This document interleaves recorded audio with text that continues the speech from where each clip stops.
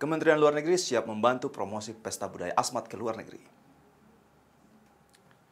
Indonesia sebagai negara besar memiliki beragam suku bangsa, mulai dari Aceh sampai Papua. Berbicara tentang Papua belum lengkap rasanya bila tidak menyebut suku Asmat, suku yang terkenal dengan ukiran yang bernilai seni tinggi dan bermakna cukup dalam.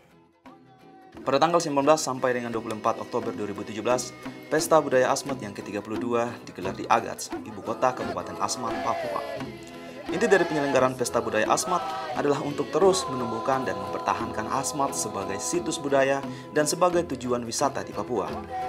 Pesta Budaya Asmat 2017 yang ke-32 kali ini mengangkat tema Jangan Padamkan Api Wire demi jati diri Asmat dan diisi dengan beragam kegiatan seni dan budaya. Staf ahli Menteri Luar Negeri Bidang Politik, Hukum dan Keamanan, Duta Besar Priyanti Gagarin Jatmiko Singgi hadir memenuhi undangan dari Keuskupan Agats. Duta Besar Priyanti Gagarin bersama Bupati Asmat Elisa Kambu dan Uskup Agats Monsiur Aloysius Murwinto secara resmi ikut membuka pesta budaya Asmat di Maksud.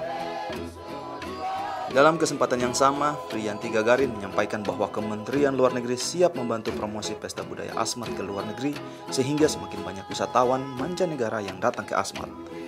Mudah-mudahan dengan bantuan promosi yang lebih luas, kita bisa meningkatkan mutu dari pesta budaya Asmat ini.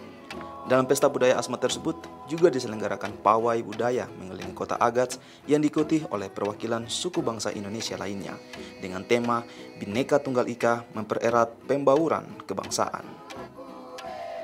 Pesta budaya Asmat tahun ini diikuti oleh 449 seniman yang terdiri dari pengukir, penganyam, penari, dan 100 orang pendayung. Demikian Kemlu TV, saya Alphonse Royer mohon undur diri dan sampai jumpa.